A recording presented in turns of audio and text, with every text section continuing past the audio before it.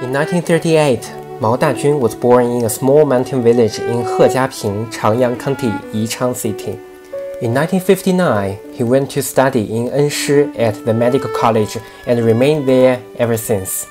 In 1962, Mao embarked on the journey of health and epidemic prevention. During his 36 years of work, Mao completed 10 endemic disease studies. Not only did he propose and prove that Enshi is rich in selenium, but he also developed the first generation of Enshi selenium products.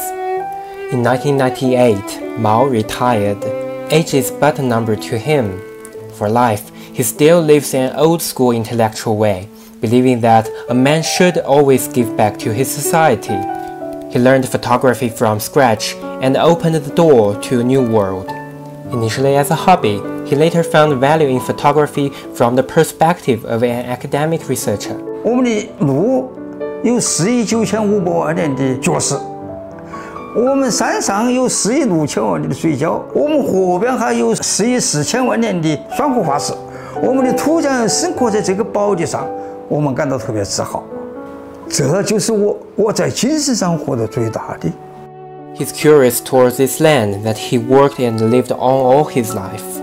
He thinks about every field of knowledge, no matter what mystery he faces, and always searches for answers in his own way. Since 2007, Mao has turned his camera towards the unique Danxia landscape in urban Enshi City, which consists of a red bed characterized by steep cliffs. In 2011, he published the photo album book Enshi Danxia at his own expense, promoting the beauty of this landscape. Nowadays, with the development of the city, many mountainous land have been excavated and the landscape has been destroyed, causing several of these scenes to be found only within this book. He joined hands with many insightful people to call for action. In 2016, China's first mountain protection regulations in urban planning area the regulations on the protection of mountains in Enshi, Tujia, and Miao Autonomous Prefecture came into force. In 2015, Mao and his granddaughter decided to launch an event, Traditional Culture on Campus, at their own expense, combining photography with painting, seal carving, and calligraphy works.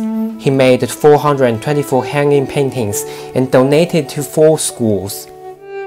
我们跟生活量是在学习中国优秀传统文化，我们在传承中国优秀传统文化，传承践行中间有自己的观点，有自己的方法。His life is simple. A coat is worn for 10 years. In the corner of the balcony, two bookcases and a square table make up his studio. His life was luxurious.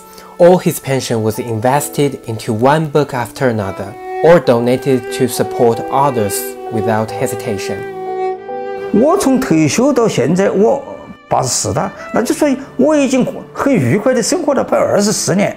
年老退休以后啊，各有各的选择，有打羽毛球的，有唱歌的，有跳舞的，有天天跟儿子弄饭带生娃的。 人要活得有自尊、有尊严，昂，生命的晚霞。能够带点色彩，我想那是最好的。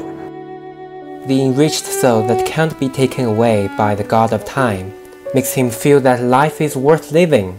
When asked about the original intention of doing all this, he said, I've learned something, and I enjoy learning.